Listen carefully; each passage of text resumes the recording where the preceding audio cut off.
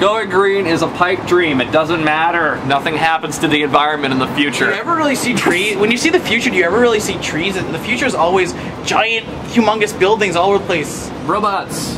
Why do why? Robots do everything. It doesn't matter how green we go. We gotta go robot. We gotta go R.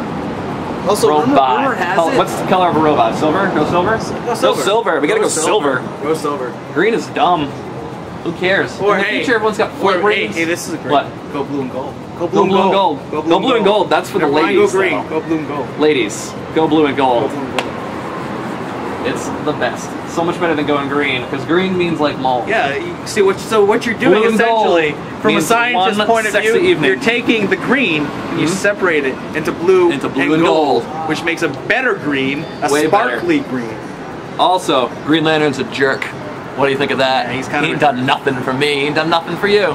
He's got Flying that- around in space. He can do that anything he ring, wanted. Oh, I got a ring. It throws stuff. It makes things. I make Look at this giant punching glove. It's Uh, yeah, awesome. I'm gonna make a horse that of green stuff that I'm gonna Here, check ride it out. like a jerk Ooh. in space, and I hang out with a bunch of other guys at the You're gonna same hang out with the guy who shoots arrows. Arrows.